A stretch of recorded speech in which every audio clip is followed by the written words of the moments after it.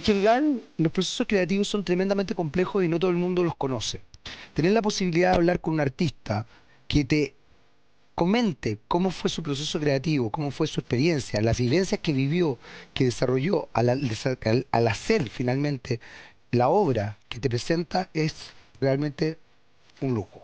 Hoy vamos a estar hablando con un escritor que tiene su primera obra, a pesar de que ya había publicado otras cosas, pero había publicado cuentos. Esta es su primera obra completa, que es una antología de cuentos de terror. Yo tengo mis dudas respecto al terror que provoca, creo que provoca más bien otro tipo de emociones. Vamos a estar hablando con Julio Gutiérrez. Aquí, en lo personal, es político.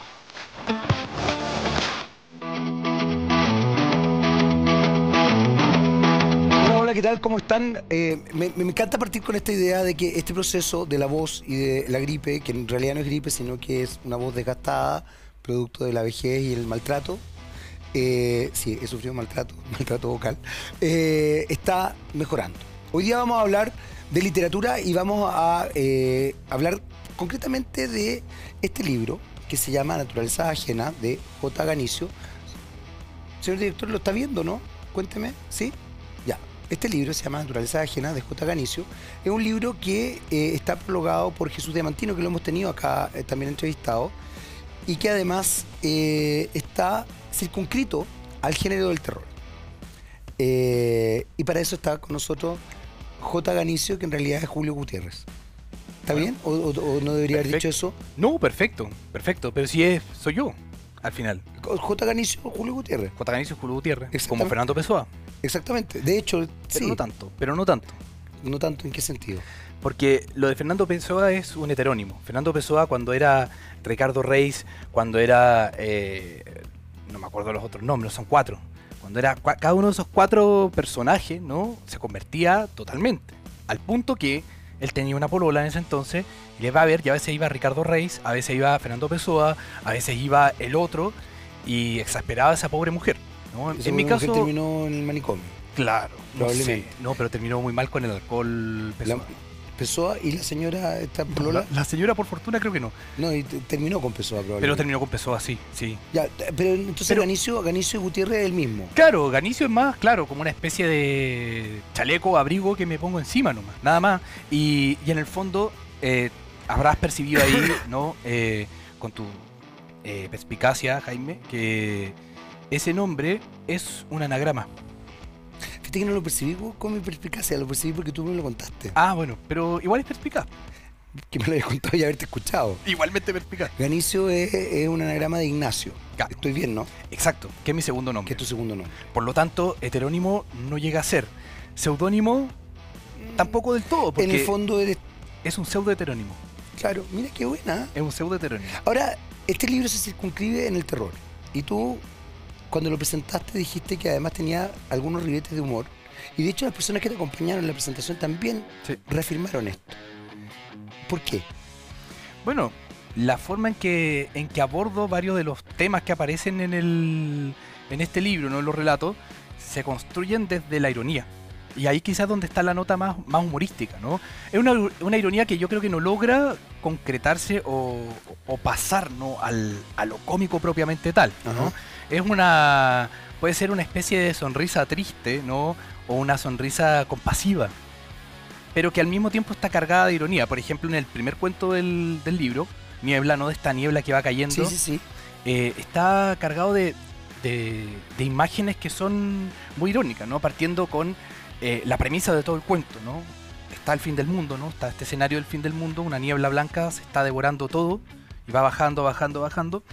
Y eh, la protagonista, ¿no? Que es una nana que vive ahí. Mirna. Mirna, ¿no? La mandan a pasear al perro. Max. A Max. Eh, para que vaya a hacer pipí, ¿no? Antes de que baje la niebla y borre todo, entonces que saque el perro para que vuelva después a la casa y se refugien todos ahí tranquilos. Y se lo, la mandan así, ¿no? Como, vaya, por favor, vaya Mirna a hacer que, que haga pipí para que no haga pipí acá dentro de la casa. Y ella va, obediente, ¿no? Y lleva al perro a hacer pipí, ¿no?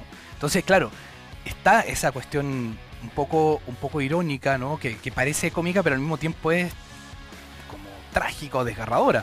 Es que ahí, ahí quería llegar, ya. que me llama la atención, y quizás sea una lectura completamente distinta a la que tú pretendías, pues yo encontré tu texto súper existencialista.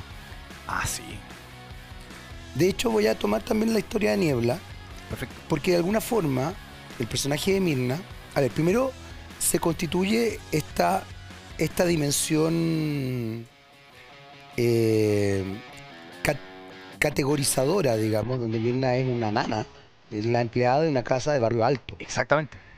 con este Beagle, que es Max, que además se escapa. Pero además se escapa porque ella quiere que se escape. Porque ella también ve en esta situación su propia miseria. Entonces es muy dramático, no, no, no puedo contar el final, digamos, Mm. pero, pero, pero de alguna manera hay una dimensión tremenda que me da la sensación que se va repitiendo en todos los cuentos y que tiene que ver con este, o por lo menos a mí me llegó desde ahí, Mm. con esta eh, con esta dificultad existencial. Eh, el, el- el cuento que a mí más me gustó, que ahora se me olvida el nombre, que es Pehuchen. eh, también tiene una dimensión súper existencialista. Este, este, este padre que abandona, que vuelve, que se cuestiona, que proyecta en el hijo, eh, hay cosas muy brutales dentro de todo esto. Sí. Y, y- y me gusta la- la- lo que tú planteas, digamos, como imagen, porque en el fondo uno le da uno, genera una sonrisa triste. Claro. Y yo creo que ahí es donde está la clave y, y me parece muy, muy acertada, muy pertinente tu lectura existencialista del, de los cuentos, ¿no? Estaba pensando un poco en el libro de nuevo, ¿no? Porque también me pasa que cuando, como, como un pequeño paréntesis, ¿no? Antes de, de, de- de seguir con lo del existencialismo, ¿no? Que yo creo igual existencialista es mi paréntesis. A ver, Em, cuando terminé de, de escribir el libro, a mí me preguntaron muchas veces, ¿no? Lo, lo vi publicado, todo. Me dijeron, oye, Julio, bueno, ¿qué se siente en el libro publicado? Yo les contestaba a todos, alivio. Es un alivio verlo publicado, porque ya no tengo que volver a trabajar sobre esos relatos. ¿No? Yo creo que hay una clave también relacionada con todos los tópicos existencialistas dentro de eso, ¿no? Em, en relación a esa especie de, de lucha interna, pero gratuita, absolutamente gratuita. La lucha del padre también, por tratar de redimirse, de reivindicarse a todo costo, ¿no? A toda costa, después de haberse escapado, ¿no? Es, parece una cosa absolutamente vana, ¿no? Y el resultado del del relato también, el desenlace, que no lo vamos a contar, ¿no? Em, también, también va esa misma cuestión absolutamente vana, porque eh, toda la construcción previa, ¿no? Se, se, articulaba en torno a este arquetipo, ¿no? Modélico, como el padre, que es el modelo del hijo, y el hijo quiere hacer todo lo que hace el padre, aunque el padre se fue, no los dejó, no importa, el- mi papá es resiliente y él va a volver y todo lo demás. Y claro, luego, claro, todo eso se, desbarata, ¿no? Y, y claro, da como resultado también esa, esa sonrisa como, como melancólica, ¿no? Como triste. exacto, es que a eso voy. Porque hay, hay, un, hay un dejo en, en- en varios cuentos, hay, un, hay una. Hay un dejo medio sacrificial de los, de los eh, personajes. Sí, podría Hay ser. una cosa como de. de. de me, me entrego a esto, eh, me entrego a esta vida, una- pues, un poco una vida de mierda, y, y, me y finalmente me, me dejo llevar en una cosa sac- sacrificial, me sacrifico, que Claro. está en, en, eh, en- en este padre, que está en Mirna, que está en la historia final. eh, El Monstrum.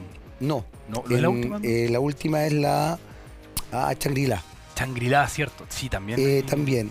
Y por otro lado está, y eso también me llamó la atención, porque tú estudiaste en España. Sí, sí. Yo en un minuto, de verdad, pero es porque también yo lo sabía, pero yo en un minuto dije, este man se transformó en, ma- en malasaña. Este, este gallo, este gallo debe haber hueado mucho allá. Pero no, no hice nada de lo que hizo ¿Cuántas, el cuántas personaje. Julias observaste? ¿Cuántas Julias perseguí? ¿Cuántas Julias perseguiste? Es que además fue muy bonito eso. Sí, hay porque un- tiene ese imaginario también, porque también es existencialista, este- este- este- esta búsqueda de un deseo Sí. que es inalcanzable. Claro. O que se trunca y se convierte en una cosa perversa y Eh, Bueno, además, e, e inesperada, o sea que no, que no tenía que ser así, ¿no? es que es que es interesante. P- Perdón, pero yo quiero, quiero llevarte a, una, a, a esa idea. Perfecto, sí. ¿Cuánto, cuánto, ¿Cuánto de eso hay? ¿Cuánto, ¿Cuánto de autobiográfico hay acá? Yo en un minuto lo pensé. Muy poco, ¿no? ¿En Muy serio? poco. Eh, sí, sí. Lo que sí hay, y ahí la- mención de Malasaña es interesante. Yo me fui a, a Madrid a un congreso en el año 2013, por ahí. No, 2015. No, ¿Ya? 2014, 2014, 2014. Por ahí, 2013, 2014. Y me recibió una amiga, ¿no? Que andaba de, de gira, porque ella es actriz. Entonces andaba de gira, me dijo, te dejo el departamento, quédate ahí. No te preocupes. Cosa muy curiosa, dejó la llave del departamento en el bar de abajo. Que es lo que tú describes. además. Exactamente, por eso te digo, o sea, autobiográfico no es, pero sí es una novela, o sea, una novela, un, un relato que podría circunscribirse en ese método de trabajo eh, como el de Solá, ¿no? Ya. De la novela experimental, que Solá iba, caminaba, miraba. Yo hice eso, caminé por Madrid, esos dos, tres días que estuve ahí, me lo caminé todo, ¿no? Sí, describe, eh, me sorprendió, yo no, no conozco tanto Madrid, pero sí conozco la Castellana, Ca- el Reina Sofía, el Y, re- Prado. y reconstruí también un recorrido que, que armé pensando deliberadamente en el relato. ¿no? Eh, entonces, claro, autobiográfico, así como que me pongo a perseguir mujeres, no, en, estaba ocupado en otras cosas, ¿no? Eh, sí me puse a perseguir como bares más o menos baratos, eso sí hice, ¿no? y debo confesarlo, está bien. Eh, pero, pero claro, hasta, hasta ese punto es autobiográfico. Encarno, en cierta medida, ciertos, eh, ciertas perspectivas que me permiten construir estas imágenes. Por ejemplo, estas de, de Madrid que son tan vívidas, son porque yo me paré ahí. Me paré ahí.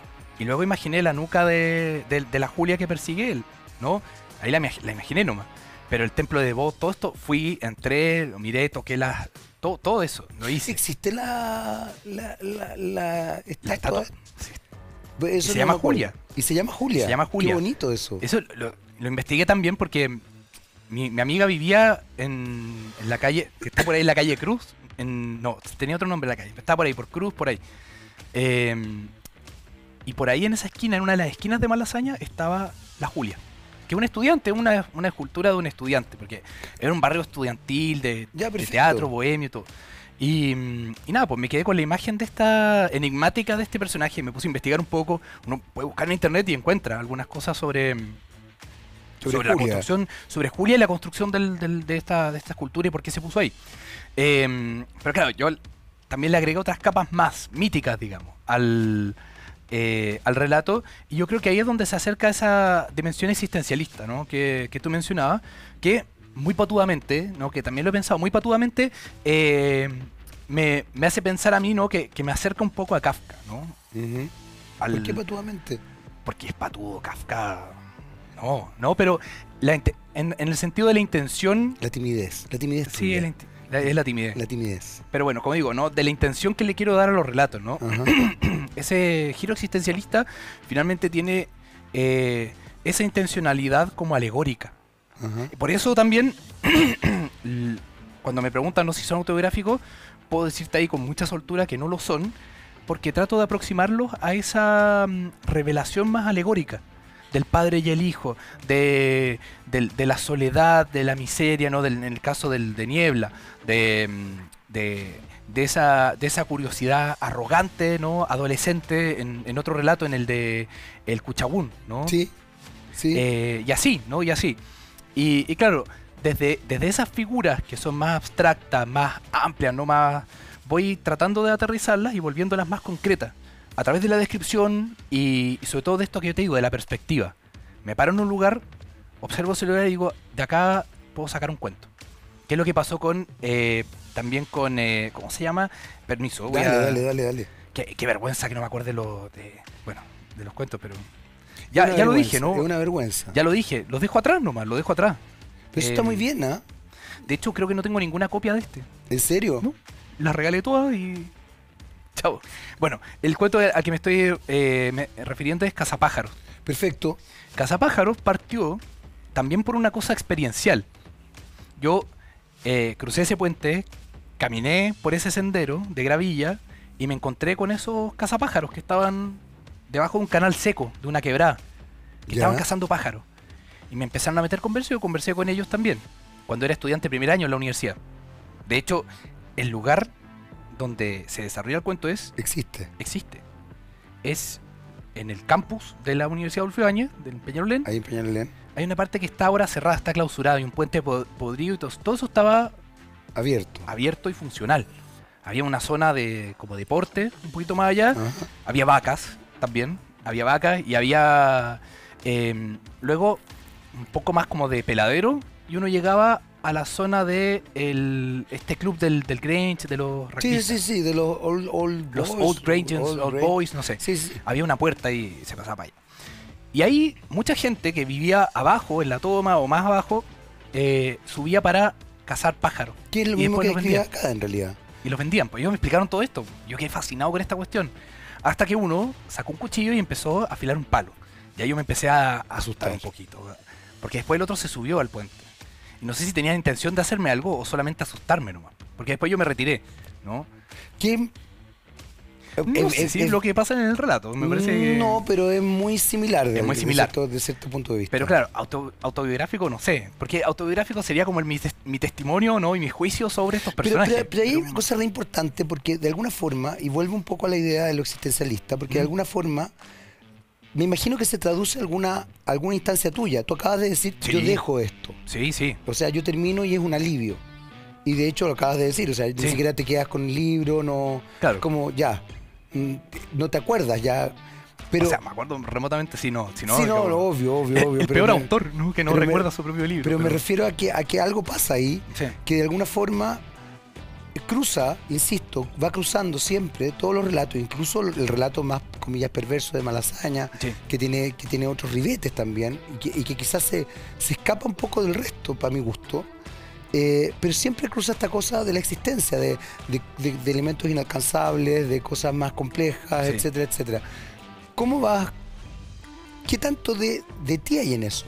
Ah, bueno, ahí yo creo que sí está, ¿no? Yo creo que ahí está volcado también esa, esas mismas angustias, esa, eh, esas mismas quimeras también, ¿no? Que, que buscan los personajes. Em, y, pero, pero yo creo que siempre en esa sintonía más alegórica. Y ahí me voy a otro ejemplo, al Monstrum, ¿no? Sí. Monstrum del Prodigium, que, claro, hay gente que, que lo ve como un cuento sobre los monstruos, un cuento sobre que es como un homenaje a Frankenstein, que evidentemente lo es, ¿no? Pertenece a una antología también Sí, que claro, sí. publicada en Zigzag que, eh, que, que era sobre eso. Pero yo lo veo como un cuento sobre la paternidad. Un Es que tiene que ver con eso. es un cuento alegórico sobre la paternidad. Y un cuento que yo escribí sin la intención, ¿no? De, mm, de, circunscribirlo en el género del terror. Está ahí, ¿no? Porque aparece el monstruo y todo lo demás. Pero si existiera como género, yo lo instalaría en el género de la ternura. De la ternura, del, amor paternal.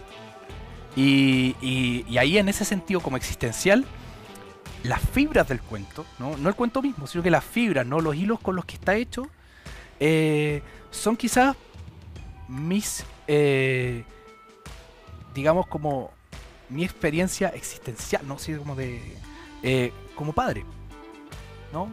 Y, y en el fondo trato de reproducir ese lazo que se va dibujando eh, cuando conoces a otra criatura, Claro. que es distinta a ti, no es parte de ti, como el caso de la madre, porque ahí el vínculo es instantáneo, pero en el caso de la paternidad, No, pues se uno, con, construye. uno, claro, uno, y es una uno construcción, conoce. y es un proceso hermoso, porque conoce y se, y se descubre a uno mismo también.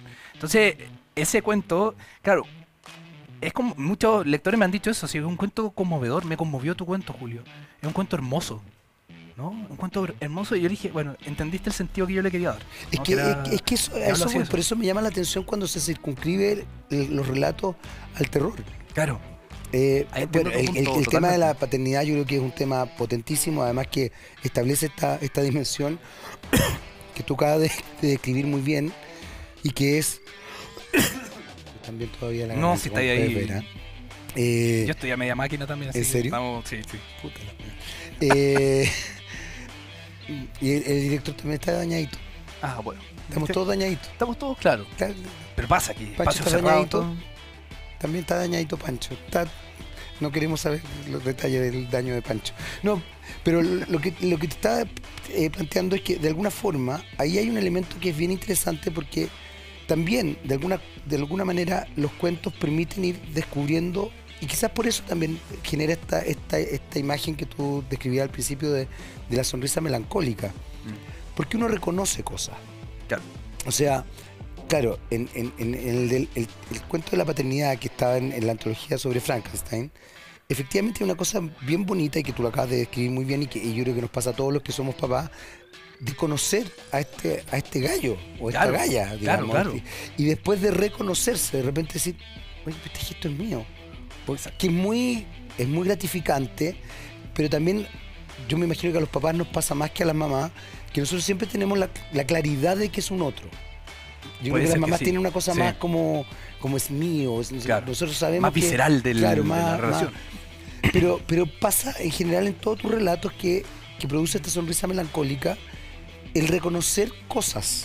Claro. O sea, en Niebla no solamente está lo existencial de Mirna, sino que está también la brutalidad Sí, de la clase alta chilena claro. que ve en Mirna, en la nana, que, que además se le pone nana por no decir la empleada, digamos, porque es una forma también más amorosa Exacto. de tratar a una persona que igual eh, se condiciona en una situación bien compleja, digamos.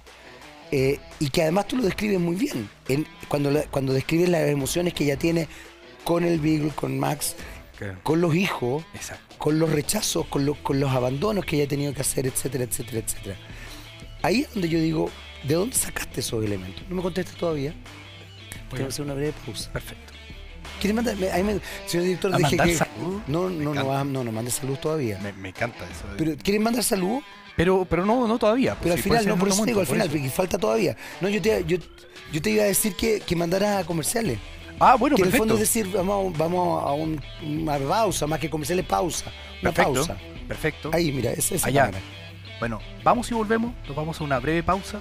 Así que no se muevan. ¿Dónde están?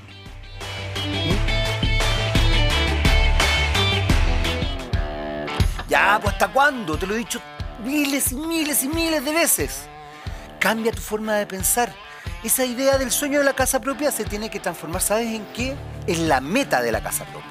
Y para eso, Open Capital te tiene la solución.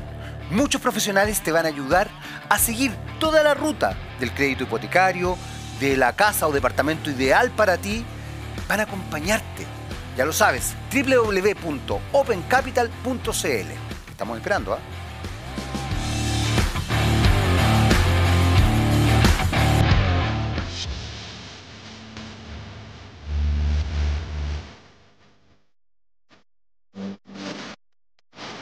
Uy, ya estamos de vuelta, llegué a Perdón, me, me- to- me atoré porque este gallo me estaba hablando. Pero ya estamos de vuelta, estamos de vuelta en nuestro segundo bloque de Culpable. los personajes políticos. No, no eres culpable. Bueno, un poco, sí, en realidad sí. Un poco sí. Ya, eh, eh, a ver, te estaba preguntando, ya se me olvidó lo que te estaba preguntando porque estaba, me fui con, nos fuimos a hablar de paternidad y Ah, otras sí. hierbas. Estamos con el cuento de, de Niebla. Sí, Mirna. Y claro, Y- Mirna. y yo te, te comentaba que en realidad todavía, que de alguna manera lograbas transmitir cosas que iban más allá del personaje de Mirna. Lograbas transmitir, por ejemplo, las dimensiones jerárquicas sociales chilenas. Uno reconocía Claro. eh, elementos de, de- de nuestro país, de esos elementos sutilmente clasistas, medio como bondadosos, medio, medio, medio cristianos, Claro. como es parte de la familia, pero no es tan parte de la familia. Usted igual tiene tenemos al perrito, pero usted limpia las cacas, no Claro. nosotros. Claro, y Eh. si viene el fin del mundo, usted lo saca a pasear. Claro, no nosotros, no- a nosotros no nos puede pasar nada. Exacto. Y ojalá no le pase nada al perro, pásale usted. O Claro, como algo- sí, claro, como tiene algo que pasar así. a alguien algo que no sea al perro, sino que a usted. Porque el perro nos costó plata. ¿Qué te pasa con eso? Porque eso también im- implica una observación del mundo bien. eh, bien desnuda, por así decirlo, bien, bien, bien brutal. Claro. Bueno, yo ahí vuelvo sobre el tema de la, de la alegoría, ¿no? Y mientras estamos conversando esto, yo estaba pensando también eh, en Platón.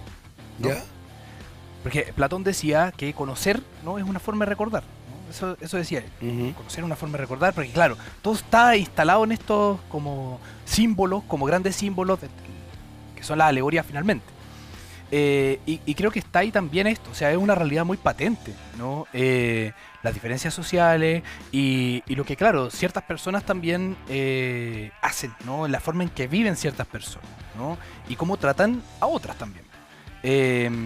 Y, de, y de la misma forma, como otras personas reciben ese trato y, y lo asimilan como algo natural. Mm. Como, tiene que ser así, finalmente es mi Este trabajo, orden, es mi obligación, no, y es mi obligación y tengo esta obligación y esta familia que me acogió, que me aceptó, que en el fondo es todo el monólogo de, de, de Mirna, ¿no? el monólogo Claro. interno de ella, y que tiene su cajón con sus cosas y parece que toda su vida entrar en ese cajón. ¿no? Eh, y claro, tiene, tiene que ver con, con- con la observación de, de- de una realidad que está ahí y que, y que claro, como digo, es tan, tan patente que, que abre esa ventana también alegórica y que permite como conectarlo con, con esa misma eh, como cadena ¿no? del, del tema del fin del mundo y de ese lazo que, que establece con el perro finalmente, ¿no? Pero, pero ahí, ahí no sé, no sé si he contestado completamente tu, tu pregunta. No, porque, porque de alguna forma, a ver, en el fondo, yo creo que el, el proceso creativo establece una dimensión, una capacidad de vincularte con lo otro Mm, muy potente. Y en ese sentido me sorprende muy positivamente el cómo tú logras captar estas dimensiones, claro. que no solamente tienen que ver con, con los aspectos existencialistas que pueden ser más internos, ¿no? Claro. Sino que tiene que ver con la observación que tú haces del entorno. Sí. ¿Cómo, cómo fue ese proceso también? Ah, bueno, eso es proceso bastante largo y ahí podemos remitirnos también al proceso de la escritura de todo este libro. ¿no? Eh, este libro tiene cuentos desde que fueron escritos entre el 2008 y el año pasado. Ya. O sea, es un- una obra, un texto de cocción lenta. Y en esa misma cocción lenta hay un montón de ingredientes o, o de, de componentes que fueron apareciendo también progresivamente. Eh, estos cuentos están acá no son la primera versión. Que escribí de ellos. Ujú. ¿no? Muchos de ellos están totalmente cambiados ¿no? de, de- de la, de la primera vez que los hice. Y, y claro, en el caso de Niebla, ¿no? que estamos hablando de, de Mirna y todo, también pasó por varias lecturas. ¿no? Em, pero yo tenía muy claro de lo que quería, de lo, de lo que quería hablar, ¿no? Y que tiene que ver con esto, ¿no? Que, que era mucho más común en los 90, sobre todo. De esta relación de las nanas puertas adentro con familia. Y que eran generalmente mujeres que se iban del campo, ¿no? Para buscar un horizonte más favorable, ¿no? De, económico. Y se quedaban de por vida ahí. Y vivían toda su vida ahí, ¿no? Yo conocí familias que tenían nanas que estaban toda la vida ahí Sí. y que después estaban muy viejas y como pobrecita, no, nada, que bueno, tenemos que, que ayudarle y todo, bueno, y la devolvían a la casa con su familia y todo, obviamente con su pensión, todas esas cosas, pero bueno, gracias por todo su servicio y todo lo demás. Y quedaba ahí olvidada en parte, ¿no? Porque finalmente cumplió con sus obligaciones laborales. Eh, y claro, y eso ya es como descarnado también, porque es una persona que está involucrada en la intimidad De un hogar, casa, po, claro. de tu casa, de, de- una familia, y conoce toda la dinámica de esa familia. Eh, se integra a ellas de alguna manera, pero no del todo. Claro. Y, y claro, son personas que también tienen una vida, que no necesariamente los patrones o los niños con, con quien viven, quizás los niños sí las conocen, ¿no? No conocen del todo. Si por ejemplo la nana tiene un enamorado y lo va a ver los domingos. Y, y claro, y también hay eh, historias así, ¿no? De nanas que le cuentan a los niños del enamorado que tienen, Claro. del- y sacan su diario, ¿no? Con las fotos, con las cosas pegadas. Y en el fondo, su otra vida está ahí en ese objeto. O como en el cajón, en el caso Claro, en de, el caso de, de entonces, eh, la, la observación que, que yo hago, claro, viene de ahí también, de esa experiencia, de cosas que yo he visto también, de, de- de familias, qué sé yo, de amigos, de parientes, que eh, en, las que he conocido esta estas mismas dinámicas, ¿no? Y que las he observado. Eh, porque, bueno, claro, pertenezco ahí a esa, A esa realidad. a esa digamos, realidad, claro, manera, claro. a esa realidad. Ahora, hay algo que acabas de decir, Julio, que me, me, me, me, me- me interesó muchísimo. ¿Qué es lo que te motivó a esto? Porque, por otro lado, tú me dices, me desapego, Claro, el alivio de terminarlo. el alivio de terminarlo, pero ¿qué es lo, qué es lo que te, te motiva a empezarlo? ¿Qué es lo que te motiva a... ¿Qué es lo que te impulsa también? hay, hay una pulsión ahí, hay una pulsión, un, eh, un- una especie de provocación, de nuevo, de la perspectiva, del paisaje, del, del- del- de lo que estoy viendo. Eh, por ejemplo, el, este eh, Changrila. Partió también con una imagen. Yo estaba caminando por el metro cuando estaban construyendo el metro los dominicos, Perfecto. hace muchos años atrás, y tenía estas típicas puertas de la construcción que tiene una ventanita. ¿Ya? Y habían dos viejitas mirando para adentro el socavón del, El metro. del metro. Y esa imagen me atrajo por razones que no podría explicarte, ¿no? Había algo en la composición de la imagen, no sé, algo en esa imagen que me parecía un ancla de otra cosa. Pero claro, era un ancla con una cadena larguísima y que había que seguir. Y de hecho pasaron meses y quizá un par de años hasta que encontré el otro extremo del ancla, que era el pasto negro, ese pasto negro, que era un elemento siniestro, extraño, pero al mismo tiempo acogedor. ¿no?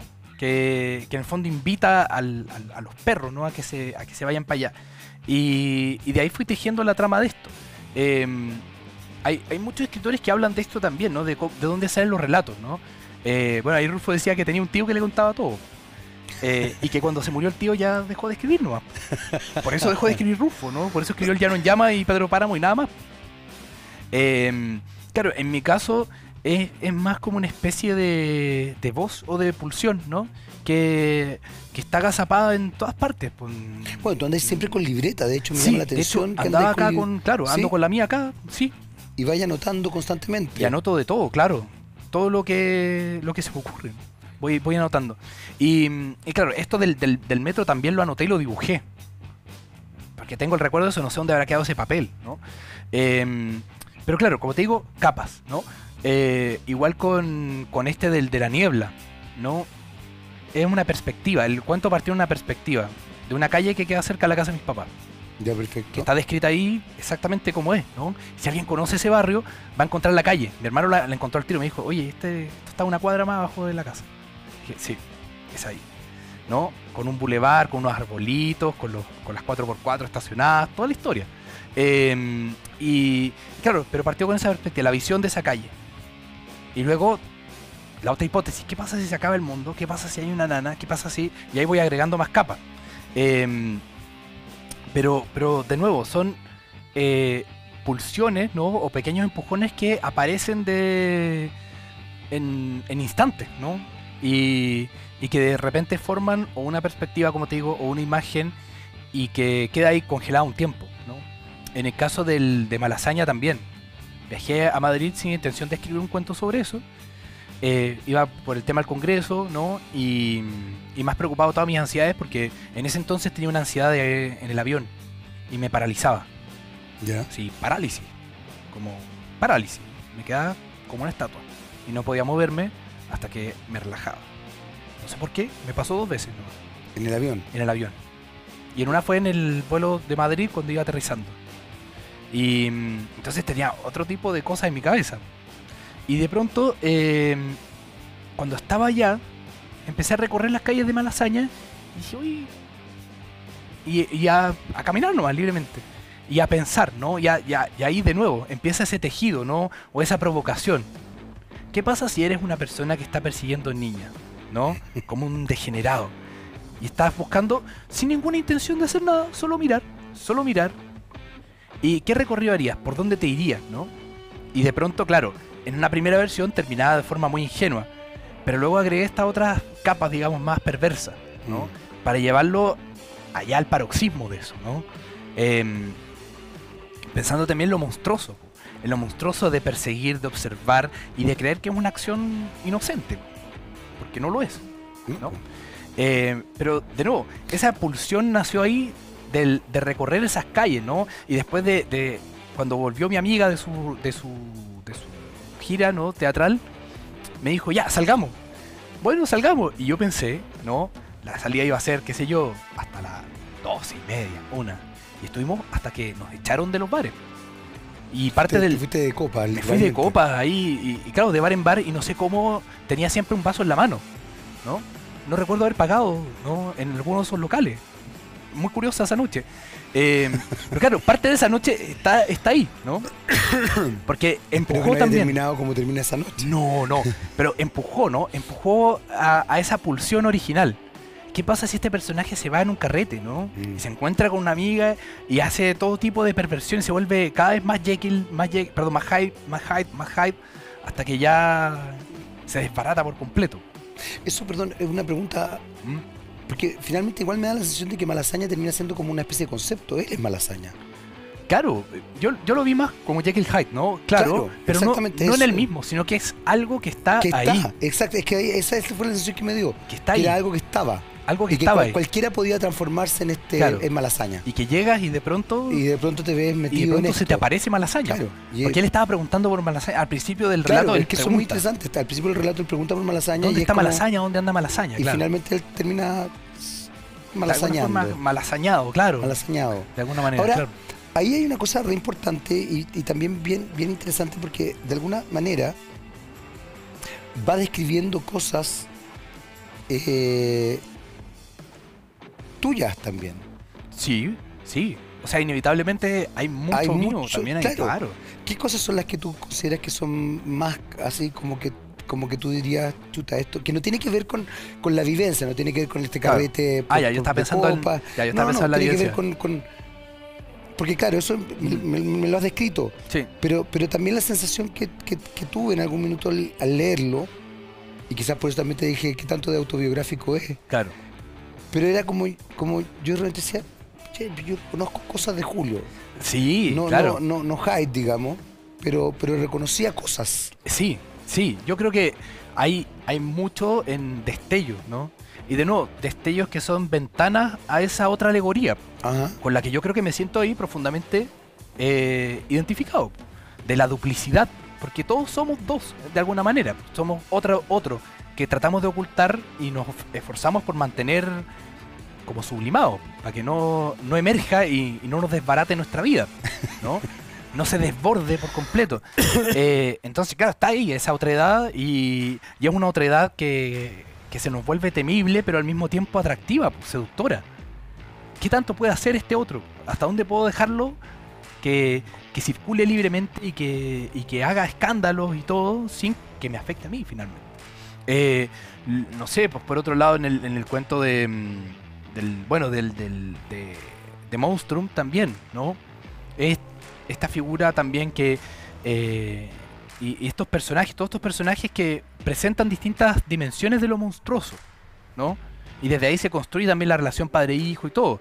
Eh, y, y en el fondo aparece de nuevo esa cuestión alegórica de un personaje que, claro, puede ser monstruoso, pero es mucho más monstruoso el lugar que habita.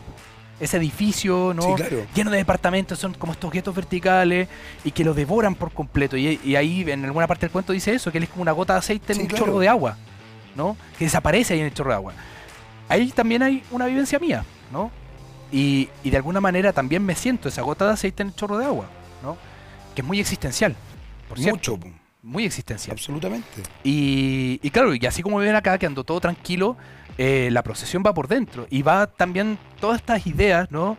Eh, angustiantes, ¿no? Eh, claro, de alguna manera se me aparecen y se me presentan. Y quizás los relatos, y ahí podría ser también, ¿por qué escribes el cuento? Puede ser una, una forma de echarlo afuera eso, sacarlo afuera, ¿no? No tanto como, como un exorcismo, ¿no? Sino que para tenerlo en perspectiva. Pero sin embargo es loco porque lo tienes en perspectiva, ¿Mm? Lo podemos ver otros, Claro. pero tú lo olvidas. trato de darle la espalda con- constantemente. Sí, pero yo creo que también hay una cosa ahí media Frankenstein, ¿no? De, de desconocer el- La criatura. la criatura. Pero, pero no, o sea, son cuentos que a mí me llenan de satisfacción y, y de orgullo. O sea, eh, es un trabajo muy largo que hice. Algunos de ellos también eh, fueron premiados Sí, en, en el Bolaño hace mil años cuando eso era te joven. decir, sí, ganaste el bolaño. Sí, sí. Felicitaciones. Muchas gracias. Es que es muy bueno. Felicitaciones atrasadas. Sí, pero bueno, Como no, 10 años, 15 años. no nos conocíamos. Pero no, sí. conocíamos. A- algunos también aparecieron en el Teresa Amel, ¿no? Eh, y así. em, porque también yo creo que tiene que ver con la, mi visión sobre el oficio de la escritura. ¿no? El, el resultado de la publicación y quizás por eso también le da la espalda. Para mí no es tan importante como el proceso mismo. Y, y el reflejo del progreso en ese proceso, para mí en, en una época eran los premios. Los premios, ver los premios. No tanto como, mira, mira lo que me gané, acá soy yo el mejor escritor. Porque, bueno, tampoco tenía gran efecto, ¿no? Si no, habría publicado quizás antes. Eh, sino que para mí, como artista, ¿no? Aparece este reconocimiento. Significa que está bien lo que estoy haciendo. Tengo que seguir por esta vía, seguir explotando esta beta. Y abandonar la otra. ¿Cuál era la otra? En, durante muchos años yo fui a talleres, ¿no? Y algunos de estos cuentos salen, salieron de, de esos talleres. Y, y ahí también reconocimiento especial, ¿no? Yo sé que todavía no es el momento de los saludos, pero sí puedo hacer reconocimientos especiales. Aquí hay reconocimiento especial a Alejandra Costamaña, a Jaime Collier, a Gonzalo, eh, a, a- a Gonzalo Garcés y por supuesto a Pablo Simonetti, ¿no? que fue el, el último taller donde, donde estuve. Y en cada uno de esos talleres, eh, claro, fui desarrollando o aprendiendo cosas. ¿no? Y una de las cosas que aprendí fue a reconciliarme con el género, de lo con lo fantástico y con el horror. ¿no? Eh, porque hasta ese punto yo trataba de hacer lo que hacían mis compañeros de taller, que escribían como Carver. Y escribían estos cuentos Slice of Life, cuentos eh, auto de autoficción como y, y de corte más realista, más mimético. Pero, pero por otro lado, insisto, porque tú te reconcilias con el terror porque te gusta el terror. Claro, claro, Y te gusta lo fantástico, de hecho. claro, pero pero, establece en una este dimensión súper filosófica también. ciertamente, pues yo creo que tiene que ver con la beta existencialista del, de, de los cuentos que están acá y que yo creo que marcan a mí nomás. O sea, quizás leí muy joven Kafka nomás y, Está muy y bien. quedé así. Em, y, y claro, esa, esa grieta, en el fondo, esa grieta también es un espacio por el que salen estas cosas, pero también eh, es como una herida, ¿no? Y que arde cuando entra aire o cuando entra agua, cuando entra lo que sea. Y en ese ardor también está la constatación de, de ciertas cosas, del tema de la duplicidad, de, de los problemas de, no sé, pues, de, de- de- de las relaciones humanas, ¿no? De la distancia que de repente puedes tomar con una persona que está al lado tuyo y, y que no, no, no eres capaz como de, de acercarte a ella, por, Por lo que sea. porque tú no puedes nomás, ¿no? O, o qué sé yo, ¿no? Eh, y, y claro, to- todas esas cosas, ¿no? Esos destellos, ¿no? Esos fulgores, eh, no, no calzaban con, con una forma de escribir más realista. Tenían que ir por esta vía, porque, de nuevo, y ahí insisto con el tema de la alegoría y de, lo kafkiano en ese sentido, ¿no? Kafka escribía de esa manera. Eh, aunque uno podía decir, ya, estos personajes se sitúan en algo que podría ser Praga, porque él vivió en Praga o en Berlín. Pero no, era una ciudad. Y una ciudad están los personajes en una ciudad. Una ciudad que tiene edificios como cualquier ciudad. Que tiene oficinistas como cualquier ciudad. Y que viven angustiados por X razón porque se convierten en baratas como en cualquier ciudad. Y en cualquier parte te puedes convertir en barata. Eh, entonces, esa, esa eh, digamos, como matriz kafkiana, ¿no? De lo existencialista, eh, es algo que trato de replicar acá también. Bueno, y yo creo que. Bueno, yo creo que lo lograste bastante. Tengo que hacer otra Sí, breve pausa. Ah. ¿Quiere- ¿Quieres mandar la pausa nuevamente? Bueno, Dele ya que lo hice también, ¿no? Excelente. Bueno, nuevamente los envío por un momento nomás, por un momento a una pausa comercial. Pero ya volveremos y seguiremos conversando. Lo personal político. En lo personal y político. Eso, muy bien. En lo personal y político. Muy bien, muy bien.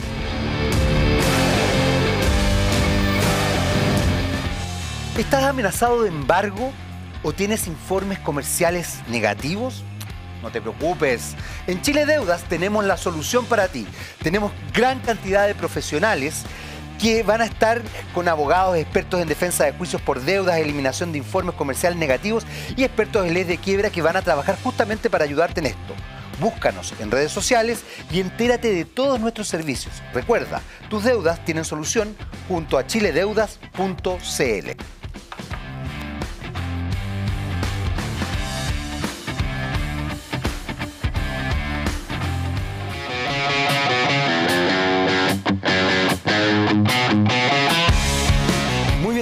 vuelta para nuestro tercer y último bloque. Eh, y estábamos hablando, bueno, estabas, estabas contándome de, de todo esto. Lo que pasa es que me quedé con la idea del para para que te conté en, en- en- en la pausa. No se los voy a contar a ustedes porque no es, es como interno. Pero, pero en todo caso, eh, quiero volver a, a los procesos, a este proceso tuyo. Sí, Y hay algo que estabas diciendo en el último bl- bloque que me parece súper interesante porque, bueno, porque traduce justamente algo de acá. Esto de, cuando dijiste, este, eh, me, me llegó esa imagen de todos podemos convertirnos en barata, sí, sí. que es muy brutal, pero que de alguna forma también se traduce acá. Sí, No es que no, no, nadie- no- no hay ninguna metamorfosis acá, no hay baratas de por medio ni nada por el estilo, pero está esta idea de que uno reconoce cosas claro. O por lo menos yo reconocí cosas. Claro, todos podemos devenir algo que aparece acá, digamos. Claro, Sí. el- e incluso lo que tú decías de Malasaña, ese, ese rasgo perverso, yo creo que todos podemos devenir en lo perverso. Sí. Es- si no tenemos cuidado, además. Claro. Porque está ahí. Porque, eh, está disponible ahí. Ese, esa también es toda la, la, la mecánica del, del malasaña. Pero hay, pero hay una cosa que es interesante porque ahora también, pensando un poco en todo lo que hemos hablado y en la lectura del libro, hay un dejarse ir también. Y que tú lo mencionaste recién, lo mencionaste en el bloque pasado, que Mm. dijiste, ¿qué tanto en esta dualidad, qué tanto yo me dejo ir? Sí. Y hay una cosa repotente en, en, en, en varios cuentos, y es que no en todos, que es este dejarse ir, dejarse estar, de- como, como Sí. este, este laissez-faire que dicen los franceses, ¿no? Claro. Como, ya, ¿sabéis qué? Me entrego. Y que, y que pasa en todos los libros, de alguna manera, en Malasaña, en, eh, en el que me gusta a mí, que se me olvida el nombre, porque es el nombre de este bicho El raro. Pehuchen, sí, pues. Ya, Pehuchen también, claro. o sea, es- está el dejarse ir, Sí, en Niebla, eh, está esto, esto, y también tú mencionaste esto de la gota de aceite en el, en el chorro de agua, claro. que también tiene que ver con esto como de, de- de cuando uno de repente dice ya, es como, no sé si, si a ustedes les ha pasado alguna vez o a ti te ha pasado, que de repente uno está en una situación catastrófica y de repente dice, ¿sabes qué? Ya, suelto, Claro. mátenme, no sé cómo eso, ya, Que pase lo que que tenga pase que lo que pasar. tenga que pasar, digamos. Claro. ¿Qué, qué pasa ahí con eso? Sabes que no, no lo había notado, pero, pero hay un hilo conductor, ¿cierto? Sí, Como po. que el libro podría también llamarse no, no naturaleza ajena, sino que dejarse ir o dejar ir. Es que es muy potente eso. Y Porque de hecho cierras muchos de los cuentos Sí. con esa idea. con esa Con idea, esa de idea dejar- de, ¿sabes qué? Ya me entregué. Que, que pase lo que tenga que pasar. Y a lo mejor tiene una clave, estaba pensando ahora mientras me lo mencionabas, ¿no? Puede tener una clave o epifánica, ¿no? Como de una revelación, ¿no? que, que de pronto tiene y ya entregarme nomás, porque lo que hay detrás, ¿no? El Mm. miedo o la resistencia o, o la posibilidad de escapar de eso no, no tiene ningún sentido. Ahí está el existencialismo otra vez. pues. Y simplemente me entrego a ese vacío a esa luz o a ese nihilismo claro. completo, ¿no? Al cual yo me entrego todos los fines de semestre por el nihilismo. ¿Por qué? ¿Cómo es? En mi tarea de docente, ¿no? Me entrego, me entrego al nihilismo ya a final de semestre, el nihilismo. ¿En serio? Sí, tengo un ayudante que me dice, Julio, ya te pusiste nihilista. ¿Cuáles son esas características? ¿Cómo te pones? Es como que la indiferencia así absoluta. Como, ya está, no importa. Estamos llegando a fin de semestre, no importa. Que profesor, no sé qué, faltan los contenidos, no se preocupe. Vamos a llegar al final, ya está. ¿no? Es como, como eso. Una entrega, así. De... Entonces estoy pensando es que, tu personaje eso. que alegóricamente está ahí esa misma, esa misma entrega. Y eh, por eso digo, epifánico por un lado, ¿no? Pero por otro lado, catártico también. Hay una, hay una catarsis, una liberación de algo que oprime a estos personajes, ¿no? Sí. Hay algo que los oprime, hay algo que los, que, que los incomoda, que los molesta o que, mm, o que simplemente los tortura pues, de alguna manera. Y, y claro, el- ese desenlace que claro, siempre son como abiertos, ¿no? Parecen también abrir a los personajes a, esa, a ese absoluto, ¿no? O a ese estado de, de- de- de nada, de vacío, que también es muy existencialista. Absolutamente. No kafkiano, sino que camusiano en este caso. Bueno, porque además, efectivamente, hay una dimensión que tiene que ver con el vacío. En Niebla está el vacío, en Shangri-La está el vacío, Sí. e incluso en lo sacrificial, no quiero dar más datos, también está el Mm. vacío. Sí, sí. Está esa cosa como de, me entrego, me- Claro. ya, me, me voy al vacío. Me dicen que quedan pocos, pocos minutos y tú quieres saludar gente. Quiero saludar. Pero espérate, pero ¿cómo lo vas a hacer? Así como, mira de quién te burlaste, mira de quién te burlaste, o algo así. Podría ser un mira de quién te burlaste, pero no, no.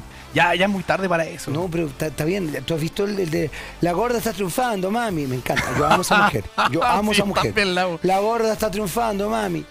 Te, te va a mandar Podría ser mi animal espiritual, pero, pero no, no, no, no. Yo ¿No? prefiero ser más comedido en este caso. Dale. Bueno, quiero, quiero saludar a Lu, por supuesto, a Facu y a Anto, ¿no? A quienes les dedico este libro. De hecho. Claro, que son mi señora y mis niños, ¿no? No con la intención de aterrorizarlos, sino que de. de, de nada, pues, de, de ofrecerles eh, este trabajo del que de alguna manera ellos también fueron parte. Yo veo la, la escritura eh, como un oficio, principalmente. No tanto como arte, sino que como un oficio. Y, y como un ebanista o, o como, eh, no sé, pues como cualquier tipo de artesano, eh, trabajo sobre esa materia, ¿no? Y, al final el, resultado es una especie de, mm, de fusión, ¿no? De la práctica misma de la escritura con, con ese producto. Y, y creo que ahí en esa, en esa fusión, ¿no? Del proceso de escritura, del resultado de la escritura y todo, están ellos tres ahí también, ¿no? En el proceso mismo, no los símbolos, por favor, no se malentiendan, no, no los personajes nada de eso. Pero, pero sí en eso, ¿no? En haberme son- visto sentado ahí en algún momento, o haber conversado con Luz sobre los cuentos también. eh, y, y ahí está el sentido de medicatoria también. Porque ese, el trabajo que hay acá, el trabajo así en el sentido de artesanía, ¿no? Eh, cobra todo su sentido por ellos también. Está bonito. ¿Viste que eres existencialista? Sí, sumamente. La profundamente cagaste. existencialista. Sí, impresionante. Viste, en una entrevista con Carlos Reyes salí del closet de lo fantástico. En esta puedo salir del closet de lo existencialista. Mira, Ahí. capaz que se venga un, un nuevo. En todo caso, este texto es súper existencialista, ¿ah? ojo. Así que eh, puede ser fantástico de terror y todo, pero existencialista. Don Julio, se nos acabó el tiempo. Bueno, muchas gracias por Al contrario, gracias a ti por venir, gracias a ti por el texto. Se lo recomiendo muchísimo, por si acaso. Lo acaba de mandar, señor director. Lo acaba de mandar, señor director. Me dice si va a mandar el saludo, fíjate. Pero si ya lo mandé. Pero no, si es uno. Sí, no se vio- bueno. Le mandó el saludo a su señora, a sus hijos. ¿Qué más quiere, señor director? Es más, le dedicó el libro. Señor director, concéntrese. Está desconcentrado, señor, lo lo- está tomado. está bien, está bien. Es lo, lo que pasa. Pero gracias igual por la segunda instancia de, De- de- creo que- de saludo, no sé. Y ya no sé a quién más puedo saludar, ¿no? Bueno, en todo caso, yo sí te quiero saludar y, te, y bueno, y quiero recomendar el libro. Y por supuesto, aquí conocieron a don J. Ganicio, que en realidad es Julio Gutiérrez, o J. Ganicio, indistintamente. Indistintamente. Un gusto haber estado acá, Jaime. Muchas gracias por invitarme. ¿no? Muchas gracias. Y nosotros, por supuesto, nos despedimos y los invitamos a seguir la compañía de TVX y a un próximo capítulo de Lo Personal es Política.